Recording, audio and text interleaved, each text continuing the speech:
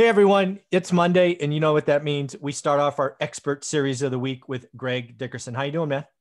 I'm doing great, Michael. How are you? I'm doing great. So, folks, if you like this discussion, you like what Greg and I are discussing here, please know that he has his own playlist on this channel, one rental at a time. Check it out. There must be 20 hours of us discussing various topics over the last year or so. So, if you like these, which you will, do yourself a favor, subscribe to the channel, and please check out Greg's playlist. It is full of just tremendous value.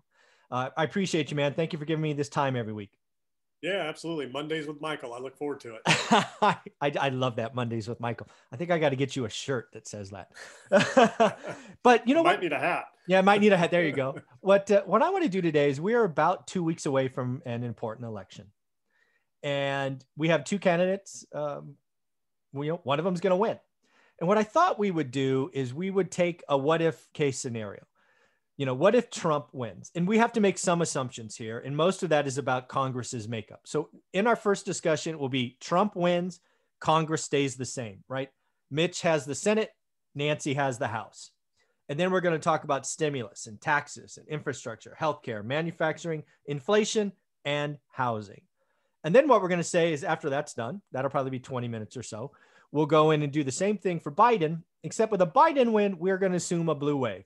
Basically, the presidency is flipped and if some seats in the Senate flip, Mitch is out, whoever takes over for the Democrats. Does that sound like an interesting exercise?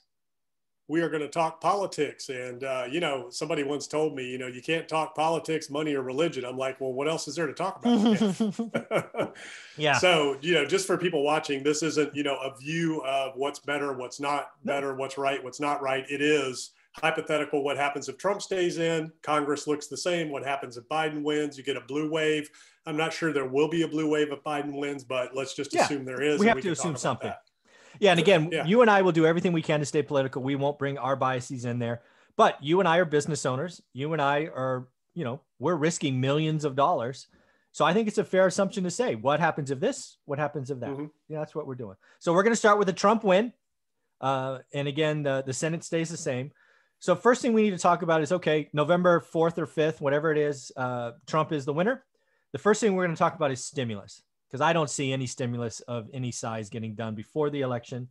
But post November 3rd, assuming a Trump win, uh, what, what are your thoughts on the next significant stimulus yeah. deal? And I made a video about that the other day. And, you know, we need stimulus now. I mean, people need money, and there's things that they can do without doing the big thing that they're all fighting over how much state gets what, this, that, and the other. They can send money to people that need money. They can send money to small business that needs money. They can, you know, rescue people that are in distress with mortgage. They can, they can help out other people other than just Wall Street, you know. So the excuses they're making on all this, they can they can cut little sections out. And I'm talking about Congress. This isn't in the hands of the president. It's not in the hands of, you know, uh, any one individual. It's Congress, you know, yes. Republicans and Democrats, you know, getting together and working together like we all do every single day, mm-hmm. you know. Uh, so, anyways, th- you know that that is something that is needed and that they need to get off, you know, get off the horse and start doing. The question is, are they really going going to be able to do something before the election? Right now, it doesn't look like it, other than maybe some stimulus checks going out potentially. Yeah, I think the only thing that has a chance is not even stimulus checks. The only thing that has a chance is there's like 130 million or billion left in the PPP money. Mm-hmm. Apparently, that's going to be sent off as a standalone bill. Uh, I don't even know if that gets done. I, I think I think frankly, um, nothing gets done before the election. And and I guess I get it, right? You're you're two weeks out from a key election. Politics, politics are trumping American pain, which is just so sad. Yeah, that's where I, I'm just I don't I don't get it. Get I don't get it. Get the get the the support, the assistance to the people that need it right now. Mm-hmm. You know, this whole playing politics and all that. There is no downside to you know sending people money that really need the money. You know, so I'm a conservative, but man, people need help, right? Yeah. We're in serious doo doo here uh, from an economic standpoint, and mm-hmm. there's a lot at stake, and we're coming into the holidays. You know, things like that. The good news is the election's only a few weeks away, so whoever wins, that's when you know the the pedal hits the metal and you know the floodgates will open one way or the other. So yeah, so let's talk stimulus. What do you think happens? It's November fourth. Trump's your president uh, for four more years. So, yep. So Trump is still in office. So um, I think that you know they're still going to wrestle over the main issues of the stimulus package are all the hidden things that they're not telling everybody about in terms of you know states and things like that and there's some unintended consequences like uh, you know tax-free airline travel. Mm-hmm. so they didn't think about that. Wait a minute. You know there's private you know private jet cards you can buy tax-free right now. So you know there's a lot of different loopholes and things that they didn't think about in these in these uh, CARES, CARES act that they passed. So i think um, you know from the standpoint of the white house you know they want to get money in the right way to the right people, you know, uh, versus some of the, you know, Democrats just wanting to give everybody money in every state and just, you know, all this, all this crazy money. So I think there's going to be a lot of back and forth. There's still going to be a lot of infighting to get, you know, a divided um, legislature to agree on something that makes sense. Yeah, uh, but well, I think I, I think if Trump wins, he's going to hold the line harder than the Democrats. Yeah, I'll actually go this far. I believe if Trump wins November 4th, that um, I truly believe, and maybe it's more of a hope. I'm going to call it believe. I believe Congress gets off their ass and people have money by Christmas. That's, you know, that's yeah, I, seven, you know, eight weeks. I'm not so sure because it, it, really is on the Democratic side where they're really holding up the ball, where, you know, mm-hmm. something could have got sent out, sent out there and I know a lot of people may or may not agree with that, but it just is what it is. You know, they're yep. they're packing it in with a bunch of this fluff versus getting the money where it needs to go. So yeah, once the election's over, you know, there's no there's no downside at that point for you know Democrats to agree and, and play ball a little bit. And I'm not sure how the stance they're taking now is helping otherwise because people aren't stupid. People know they're holding it up. They know that it's in their hands to pass. Um, and that they could say, let's get money to people so, you know, pe- people see right through this stuff. Yeah, one of the biggest things that you'll see, in my opinion, is is, is on the stimulus side. I think if if and we'll talk about Biden next. So the, hold hold your horses uh, if that's where you want to go. But that that will that will happen. I think stimulus ends up in the average American's hands faster, just because you don't have that lame duck session if Trump wins. Yeah, um, I just I, you know I'm going to believe that. All right. So um, what do you think about taxes next year? right? There's one thing that the president, uh, either the current president or the president elect, would be thinking about is what where the tax changes are next year. What what do you see yeah. there? So if Trump is still in office, you know, I think he's going to con- continue to be aggressive in terms of tax cuts mm-hmm. to spur economic development because we're we're not out of the woods yet from an economic standpoint. We are mm-hmm. getting worse. There's there's serious pain in Q4. I made a video the other day about this being the most important quarter in our history of the country uh, potentially the history of the world. Um, you know, because the United States, so many other countries, you know, are are uh, you know hinging on the United States, and we have such a big impact on other countries, our economy. Um, you know, I think uh, the only way to continue, well, I know the only way to continue to spur economic recovery and growth is you got to cut taxes. That's where jobs are created. The more punitive the tax environment, the less opportunity is created because you're paying your money in taxes. You can't reinvest it. Mm-hmm. You know, so that's just common economics, you know, common sense economics. So I think Trump will get more aggressive on tax cuts to incentivize job growth, entrepreneurship, business creation. Okay, very cool. I would agree with that. Uh, one of the other things I'm tracking uh, that I think of because I think next in the next four years we are going to have not only stimulus that we know the CARES Act and get money to people and unemployment and, and PPP and all of that, but what I have seen is the long talked about infrastructure stimulus, mm-hmm. meaning bridges, highways, you know, all of that stuff. I see a significant infrastructure bill coming regardless. But if, if it's a Trump White House, I see it very oriented to kind of the old world, if you will, meaning let's go redo our highways, bridges, trains, you know, all of that stuff. Uh, does that kind of, do you see an infrastructure bill coming? If so, where do you see it kind of aimed? Yeah, I mean, that, that, I, I you know, I think there's some proposals on the table there, and I'm, I'm gonna with you. You know, big infrastructure projects, roads, bridges, tunnels, things like that. You know, there's a big need for it. Um, the issues they're going to face is environmental opposition. Um, they're gonna. It's going to be a big political fight. Who gets the money? How are the contracts issued? What states get? You know, how much? Which projects are more important? So allocation of those funds is where the fight's going to be. You know. Yeah. So if you have Trump and you have you know a Congress that's you know balanced the way it is right now, they're all going to be fighting over who gets how much. So the question is, can they even get any, anything passed? Yeah, again, I think if he's in in the White House for four more years, his second term, uh, you know, he's not a politician. He's going to, you know, push both sides to get something done. And again, I think I think the way we get out of this um, malaise is with an infrastructure bill, which, by the way, where, where I think an infrastructure bill is today is job creation. That's what it is mm-hmm. for me. You know, it's obviously good for the country and all of that, but it, for me, it's job creation and probably significant job creation. So that's where I see infrastructure going. Um, what about manufacturing? Uh, you know, what do you think about? And specifically here, I'm talking about bringing manufacturing home. Do you see that being anything interesting? Uh, I've talked about a proposal that J- Japan's leadership did, where they actually gave tax credits to companies to bring manufacturing back to Japan. I thought that was an interesting idea we could frankly copy. Um, it's just a bad idea, in my opinion, to have supply chains tied up in countries that frankly don't like us. Um, so that's what I'm thinking happens is, is some manufacturing come home. What do you think? Yeah, I think we need to figure out how to do that. I think the United States need to, needs to be more self-sufficient in manufacturing. Um, you know, manufacturing is becoming more technologically advanced, so it's a different manufacturing than it was, you know, years ago. But there's still a certain number of, you know, straight up manpower that's needed in some of these factories. The problem with dealing with that and getting anything through or growing is or unions. You know, so unions have created an unfriendly environment for manufacturing to thrive. It's just too expensive. So that's why we're offshoring. I mean, at, at, the end of the day, that's why we're offshoring. So I think we have to figure out how do we balance that?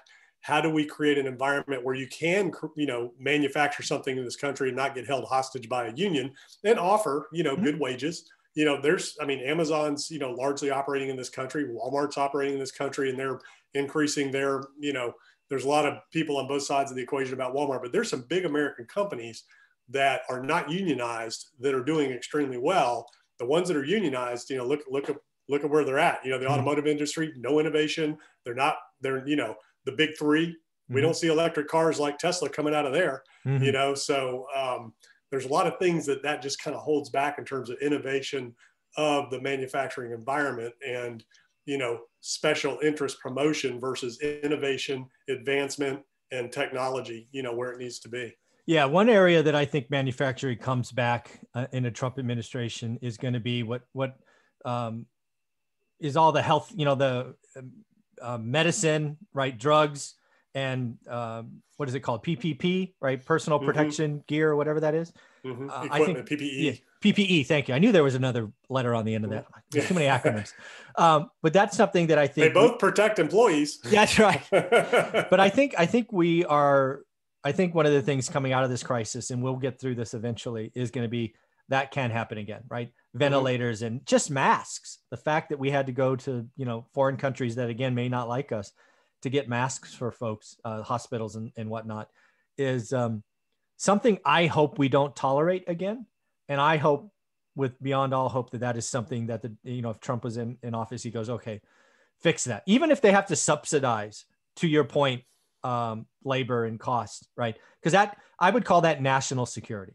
That's how mm-hmm. I would frame that. So I think there's there's some lessons to be learned in in that, and uh, we just can't have that happen again. That's at least my opinion. What do you think?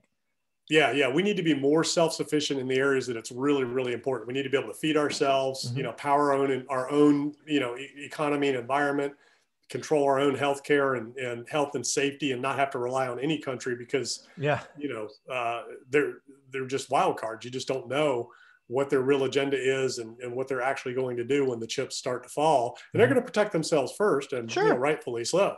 Yeah. Uh, you know, and there's there's some huge populations out there, but um, yeah, I mean, the US, I think deglobalization is an issue that's on the table in a conversation now more so than ever.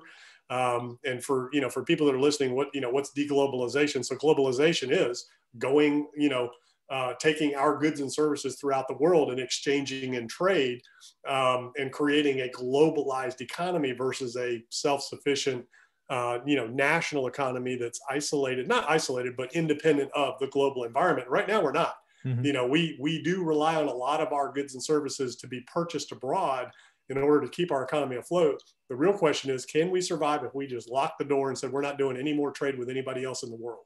You know, can we still sustain? Mm. And uh, you know that that's a big economic question, and a lot of people are debating that right now. Yeah. All right. Next one we're going to talk about is inflation. One of the things that you and I, you know, as investors, especially in real estate, that we see both in rents and property values and all of that is inflation. uh, if we have big stimulus bills, if we have big infrastructure, if we have a tax changes, you know, this this economic engine of the United States could really get going. Uh, but one of the outputs often is inflation. So, do you see inflation becoming a talking point or you know uh, a, a, top of the top of the fold problem in the next four years, assuming Trump is the president?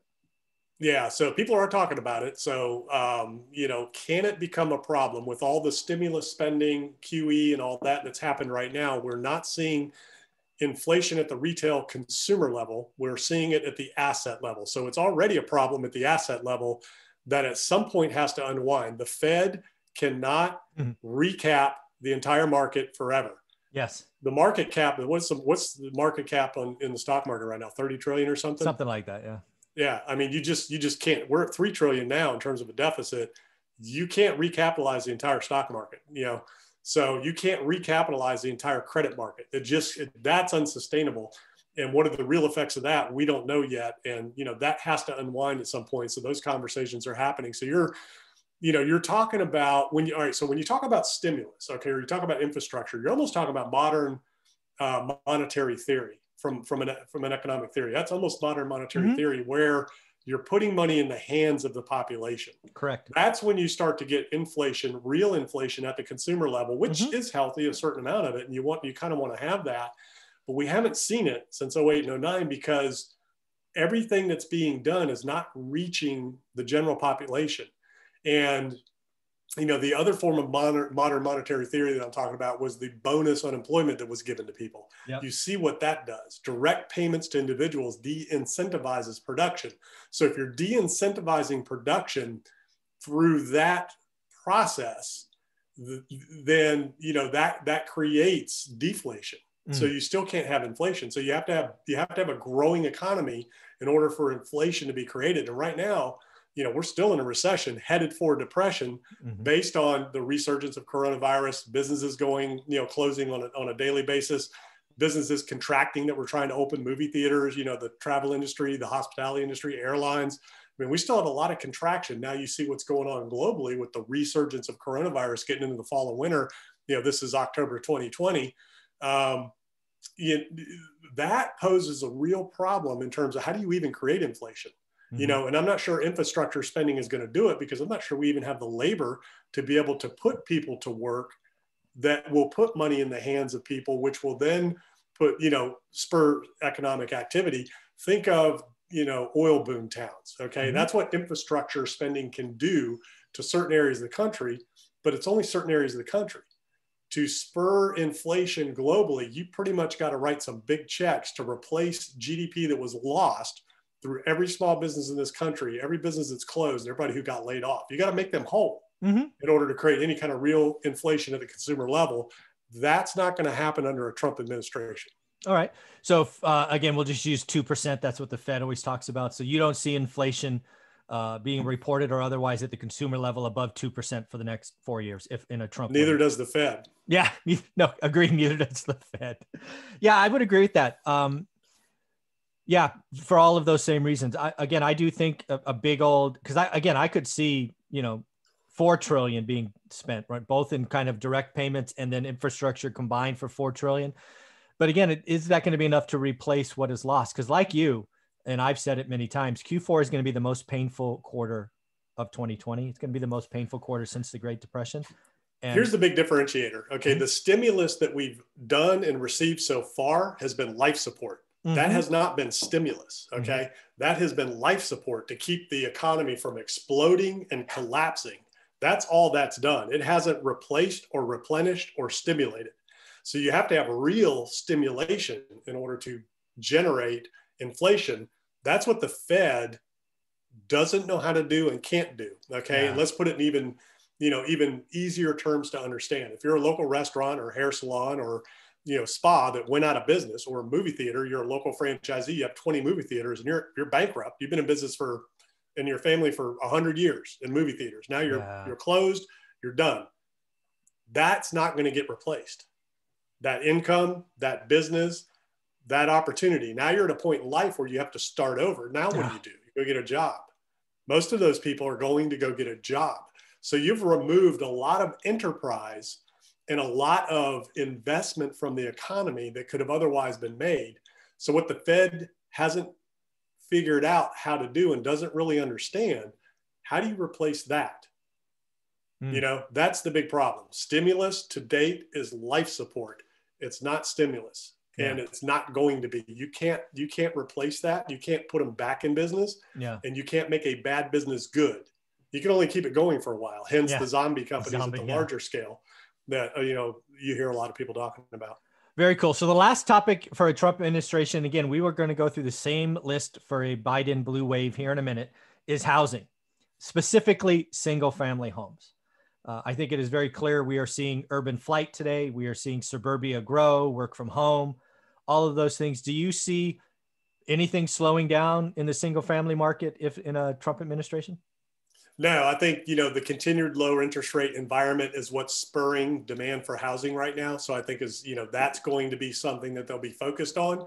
But you're still going to see tight lending requirements. Oh yeah. You know, so um, under a Trump administration, you'll see tighter lending requirements. You'll see um, you know proper um, reserve requirements, down payments, you know, credit scores, things like that. But you're going to see low interest rates because that does spur, you know, economic development. It does spur home ownership. And, you know, for a lot of people, that's a good thing. For some people, it's not so much a good thing. But yeah, I think you'll see that continue to be um, red hot all the way through the end of the year. Very cool. All right. So now we're going to flip the script. We are going to have it be a Biden presidency and we're going to give him the Senate. Again, we don't have to make judgments on the likelihood of any of that. We just have to pick something. So that's what I'm picking. Uh, so again, we start with stimulus. Biden wins November 3rd or 4th, not a contested election. He also gets the Senate.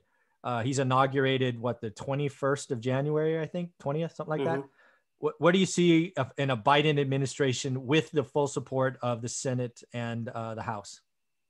Yep. So um, obviously, it'll be much easier to get things done from a Democratic standpoint. So, mm-hmm. stimulus, who knows what that'll look like? But you know, whatever Nancy Pelosi is proposing and the Democrats are proposing, just look at their package and that gets passed, uh, and then some. They'll probably increase it. Yeah, and, and then some. yeah. Yeah, yeah. So you'll see money going in a lot of different directions, which you know again could be good. It's putting money into the economy at the state, local level. Um, you know, I know there's a lot of state governments that are asking for money. Um, you know, th- to replace mismanagement yeah. and you know bad practice. So, you know, states and federal governments will have a lot of money. So there'll be a lot of hiring. They'll be spending money on, on things. So mm-hmm. there'll be a little bit of stimulation there. But um, I think you'll see a big package get passed a whole lot easier. You know, in that, you're going to have a lot of, so it's a social agenda. So you're seeing socialism come to light in the United States with a blue wave. That's where we're going to be. That will be the experiment. So you're going to see modern monetary theory. You're going to see direct payments to people. You're going to see a lot of money going out. Um, you're going to see, um, uh, you know, in terms of a stimulus, you, you will see more direct payments. You will see states and, and, and um, those, those entities receiving money. You will see a lot of the causes that support Democrats being funded. You know, a lot of the nonprofits and a lot of, you know, different community organization type things. Mm-hmm. Um, so it'll be a really interesting experiment in socialism uh, for the first time in this country. Yeah, I think there's two things that happen with a Biden in a blue wave. First and foremost, the stimulus is much later than in a Trump win, in my opinion. I mm-hmm. think again, Trump. I think you get it by Christmas on purpose. I think everybody would want it by then. Uh, but in a uh, Biden win, I see no, I see no progress on anything during the lame duck sessions, what it's typically called. Yeah. So I don't see people getting any money until best case late February, just given the calendar, and probably yeah. er- early. Yeah, everything March. has to flip over. Yeah, or early March. So that's dude, that's a painful four months. You think we're in pain right now? Oh my God. Right? Well, Jesus. but it'll be hopeful for people because the people that well, want to see hope doesn't pay the bills, man. Hope don't put food in the fridge. yeah, yeah, it, you know that's that's true. It's not going to put checks in the bank, and you know there will be big resistance that momentum change. But at least people will know it's going to be coming. So also part of that stimulus package, again, you're going to see rent controls, you're going to see evictions on moratoriums, you're going to see um, more forbearance, you know, so you're going to see a lot of those things continue. Um, so, you know, a, a blue wave can, can have a meaningful impact on, you know, a lot of those things in the stimulus package. But yeah, the question is how soon can they get something through and, you know, what does that mean for people in the interim? And that's what I'm saying. Q4 in the first quarter of next year, it, you know, it's the road we're on right now. It's going to be ugly no matter how you slice it. I totally agree. the The road we're on now is ugly regardless. Uh, but we we could a it'll be a double dip recession. Q4, Q1 will be shrinking quarters, so technically the definition of a recession. Um, but the other thing I wanted to say with stimulus before we move to the next topic is not only is it later, but I will admit it will be bigger. It will be mm-hmm. bigger in a Biden administration and probably substantially bigger in a Biden. Yeah, yeah, in the blue wave. So it's not yeah. just Biden, but it's if you've got if Correct. you've got a you know uh, a liberal government, a Democratic you know led government on all sides, you know that that is there is a a socialist theme to that side of the government right now um, that a lot of countries already have. So you know, we just haven't had that in this country, and, and it's going to be an experiment in socialism. And I don't think a lot of people understand what that fully means because you got to pay for it. So, um, you know, and I'm all for some social uh, policies to help people that can't help themselves and to, to, you know, bridge the gap of income inequality that we have in this country, because that's a huge problem, mm-hmm. you know, between the have and the have nots. And it's largely an educational issue uh, and it's largely an opportunity issue mm-hmm. that needs to be addressed some way somehow because there's a lot of people that just don't have the advantages that you know people like us do right in, in our own country and that's unfortunate and it's not right and it needs to be addressed and um, so we'll see you know some some movement in those areas which is great but unfortunately even even in a blue wave there's going to be a lot of infighting over who gets what where and how much so it'll be interesting to see how quickly and easily things get passed. Yeah. All right. So let's switch to taxes. I think, uh, you know, in a Trump administration, we were talking about tax cuts and incentives to growth. You know, uh, I think it's pretty clear that the taxes will be treated very differently in a Biden slash blue wave. But what do you see there? Yeah, yeah, I think so. And again, the big difference is low tax environment versus high tax environment to pay for social programs, to, to pay for stimulus, things like that, and just a flat out um, uh, you know, um, vengeance against corporations, you know, because mm-hmm. there is a belief there that, you know, wealth is bad, that, you know, people should only be able to earn so much, should only be able to keep so much, mm-hmm. and, you know, should pay so much. So you're going to see a high tax environment. You're going to see modern monetary theory, redistribution of wealth. People will get paid not to produce. Um, and that's just what that is. It's not good, bad, you know, right or wrong. I don't know if that's the right thing or not. We'll see. Mm-hmm. But that's, you know, we've already experimented that a little bit with the payment, you know, with the PPP program where people got 600 bucks a week to stay, stay home. Why go back to work, you know, um, when you're at that level? So we already know what that does.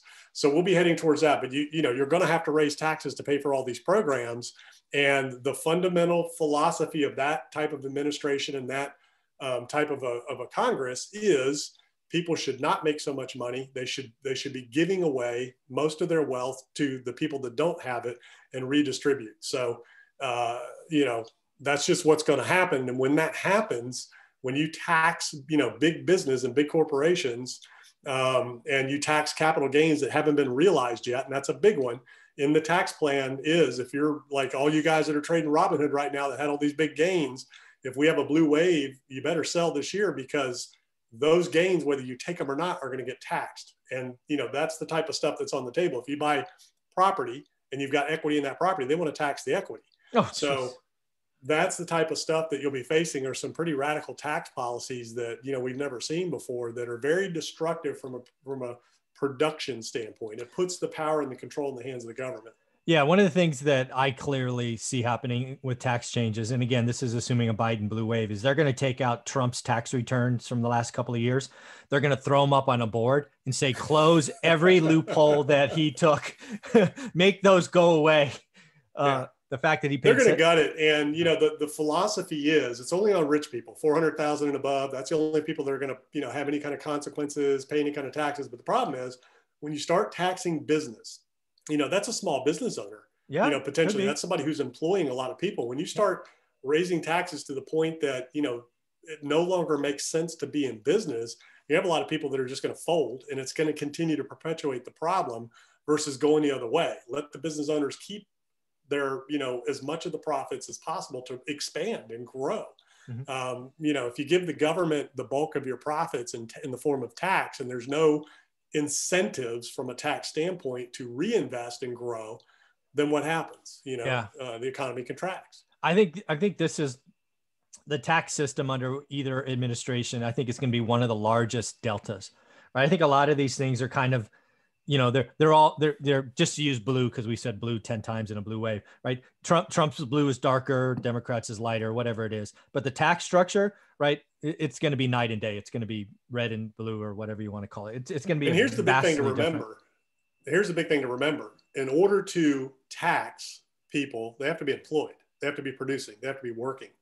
So the government either way hasn't figured out how do we put people back to work now you know with what's going on? And how are we going to put them back to work in the future you know, infrastructure is not going to do it. That's not because there's a lot of people that just can't work in those trades mm-hmm. in the in the field. You know, working on bridges and this and that. There's just not enough jobs. Yeah. To create enough enough tax revenue. So what's going to happen?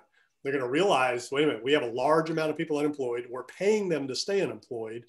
So we have to generate tax revenue. So it's going to come from the people that are producing. Mm-hmm. So I think, you know, um, it, will be a very punitive tax environment that sounds like a good idea because people need help and there are some gaps that need to be bridged and there, there are reforms that need to be done. The, the problem is the unintended consequences. So I, I think it'll be very short lived. Yeah. Well, that brings us to the next topic again, going down the same list in the same order. It was infrastructure. I think one of the difference we're going to see in the infrastructure is again under Trump, it's kind of he's just a builder, right? So it's going to be very kind of old school cement, bridges, steel, you know, all of that stuff.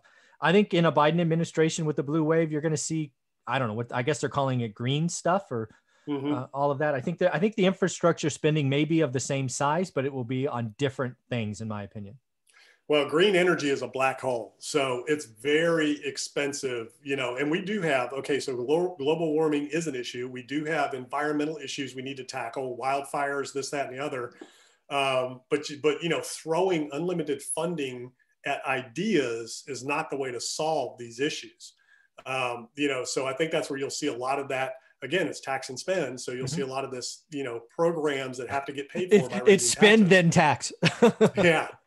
You know, so, you know, those are very expensive things to try to tackle. And, you know, we saw in the Obama administration, you know, kind of a glimpse at that where a lot of these solar companies were given, you know, uh, uh, government backed loans that went bust, that went bust, you know, three, $400 million, you know, uh, to these different companies that, you know, ended up essentially a few people lining their own pockets and the company goes bust. So, mm-hmm. You know, that that is something that will be a push and it is on their website. They say that, hey, this new green deal, we're not we're not backing it or whatever, but it's on their website. Yeah. And you know, there is going to be a green new deal. So I think they understand the roads and bridges. I think they I think they'll attack that, but they're going to attack this too. Yeah. So exactly. um you know, to be interesting to see where that funding goes. And again, that's going to be the big fight, even in the Democratic Party you know who gets what where and when yeah all right going to the manufacturing. Do you see manufacturing being treated any different? And maybe it's a combination of manufacturing and taxes. Maybe one of the things that the democratic with the blue wave talks about is hey if you bring manufacturing home we'll give you a break maybe? I don't know. Uh, but they could tie some of these things together perhaps. So you know the question is unions okay? So in in a blue wave you're going to have um, probably legislation that's going to require unionization. Mm. So you're going to see a, a national union, unionization wave. So the question is, what does that do to existing retail, manufacturer, every business? If you're mm. if you're now all of a sudden you have a business and you have to you have to be a union, yeah, you know, and and that gets pushed. However that happens, um, what does that do to commerce? What does it do to manufacturing? And the only way they're going to stop you from offshoring at that point um, because you're, you're just not going to be able to manufacture stuff when you're paying somebody 40 bucks an hour. You just can't do it. You know, it just does not work. Unfortunately, not every job can make 40 bucks an hour. You know, it just doesn't work because consumers won't pay the prices that need to be paid for that. Look at automobiles. The only mm-hmm. reason there's 70 grand is because of unions, you know, and it's because, you know, 50 to $100 an hour workers. And, and you know, the, I'm not disparaging them. I'm just saying that's a lot of money, you know, for, for that job that is making it unsustainable at a point for vehicles, you know, and, and it'll reach a point where you just can't sell anything because it's too expensive. Um, so the question is, how do they stop a company from moving, which is probably what they might do. They might say, you're not leaving the country. You can't leave the country. We'll ta- well, I don't know. I don't know how that, how that works, what that looks like, but I do know that there's going to be a movement towards unionization of all businesses. Mm. in that environment. Okay. All right. The next up is inflation. Uh, again, in the Trump administration, we basically said inflation is a non-event for the next four years. Do you see it the same way uh, in a Biden blue wave kind of arena? Again, you know, inflation at the consumer level is going to be extremely difficult without putting a bunch of money in the hands of consumers. So if they do okay. that, yes, you can get some consumer inflation. If they have, if they find a way to get the money to to the people, you'll see inflation, especially if it's um, if it's in a redistribution thing. If people just all of a sudden get checks to boost their income because they're making less than somebody else, and that wealth is redistributed, um, then yes, you you could potentially see some inflation there because now people that don't have any money um, or don't make as much money all of a sudden now are being subsidized one way or the other, that can create some inflation. Okay. And then the last one is housing, specifically again single family homes. What do you think? Uh, what do you think happens there? Yeah, so I think that policy regime is pro home ownership Agreed. at any cost. So I think they're going to put just like they did pre 2008 and 9 unqualified buyers into houses and mortgages that they otherwise should not be. People that are one refrigerator, you know, bad refrigerator from default um, into houses. You know, no money down, you know, very low interest rate loans, but they still have to pay taxes, insurance, maintenance, and all those things. Um, you know, so yeah, I think there will be a push towards home ownership. Um, you know, in this country, which is a good thing for a lot of people, but there are some people that just, you know, should not be owning houses. Yeah, uh, one of the things that I I think housing. So under a Trump administration, I think housing will be very regional, right? There'll be some regions that win and some regions that lose, right? The whole K-shaped discussion we've had many times. I think in a Biden administration, there's far more all ships rise because I see, mm-hmm. I really see a tax incentive for first time buyers. You know, it was eight grand back during the collapse. It'd be 15 grand now. I do see, um, I do see the the Fed kind of saying, okay, we are going to incent first time home buyers and we the fed are going to buy down mortgages to 1.9 or 1.5 or shoot 0.9% there mm-hmm. will be a push towards home ownership like probably like we've never seen before and um, you know that is going to feel good for a while but that's how the balloon becomes unsustainable and we're one recession away from huge problems mm-hmm. so yeah, it'll it'll be interesting to see, you know, what approach. Uh, and I haven't looked at the plan, you know, that they have on the table for that for home ownership in the Biden plan. I haven't looked at their whole their whole platform. So, uh, yeah, it, will be interesting. You know, again, it's going to be an experiment in socialism with a blue wave um, yeah. versus, you know, pretty much continue on the path that we've been on pre-COVID, you know, with the Trump administration these are the conversations I like because again, we are about we are at an inflection point. You know, November 3rd mm-hmm. is around the corner. There'll be there will be a winner. And you know, we got to make investments for the next four years. So Greg, I appreciate your time. Any kind of closing thoughts if we wrap this up? Yeah, so you know, I would say whichever side of the fence you're on, um, whatever you know policies, just be aware of what's going on. Make sure you understand the rules and the implications and the changes that may or may not be coming down the pike, so that you can position yourself in a way that you're protected, your investments are protected. So um, if you're in the stock market and gains and things like that, pay attention to the administrative changes and the rules coming down the pike. So if it's a blue wave, you want to sell, take your capital gains off the table and be prepared for the future. Um, you know, if it's if it's you know uh, Trump administration and we continue on, your gains are not going to be attacked. Um, you know, so you just got to understand the changes in the tax laws that, that could potentially be coming down the pike one way or the other, you know, uh, environmental regulations, uh, business regulation, things like that. So um, I'm not saying one's better than the other, good, bad. Otherwise, I'm just saying be aware, be prepared. Yep. Yeah. And just understand what you're going to need to do to move forward. Very cool. And the last thing I'll say is I voted. Make sure you get out and vote. Uh, but you know, this is, you know, people, a lot of people are talking about voting this election. Awesome. But realize that every year is important. A lot of elections happen at the local level that really change your local environment. So take your passion and energy for voting this year and make sure it carries forward into next year and the year after. So with that, Greg, I want to thank you for your time and you have a wonderful week. Yep, you too. Thanks.